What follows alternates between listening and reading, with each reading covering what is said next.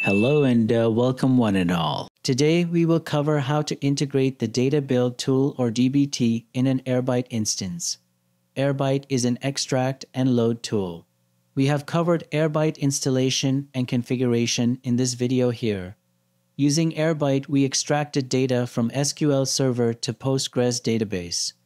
This was the extract and load part or EL. If we want to transform this data, we can use another tool or SQL. We discussed how to transform data using DBT and demonstrated how to orchestrate Airbyte and DBT using a tool like Dagster. However, in this video, we will cover how to integrate DBT to transform our data within Airbyte. This way, we can trigger our extract and load from Airbyte on a schedule and transformations will be triggered once the data load is complete from Airbyte using DBT. This creates a dependency between extract load and transform. Our transformation will run once the extract and load process is complete. Also, we remove the orchestration tool from this workflow. The DBT Airbyte integration is rather simple. Under the Transformation tab, we can add the DBT as custom transformations. We provide a name for the transformation, the transformation type, a Docker DBT image, entry point argument, and the GitHub repository URL. You can plug in your environment setup and give this a try. Seems simple enough, right? However, you may run into issues.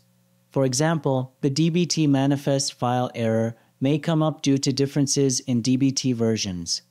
Therefore, we want to make sure our DBT and DBT plugin have the same version. Next step is to check whether our DBT the project builds successfully. Once it builds successfully, we can push it to GitHub repo. The Docker image we are providing also needs to have a compatible version. In addition, we need to add a few variables to the DBT project YAML file. Let's take care of the above highlighted issues before plugging in our DBT project. First, let's check the DBT and the plugin version in the virtual environment. We run the following command and it displays the DBT and the plugin version.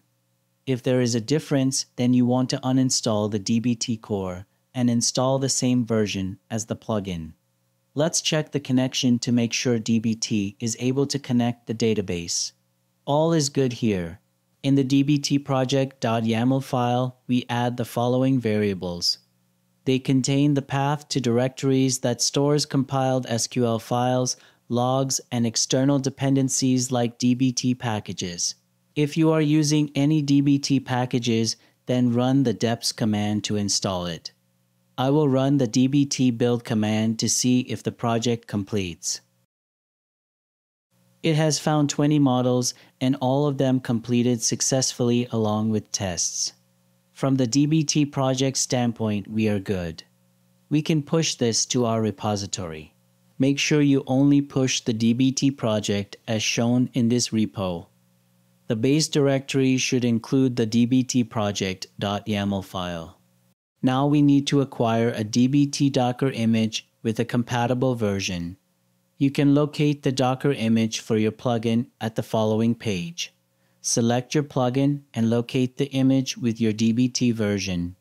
We copy the image and provide it to the Docker image URL.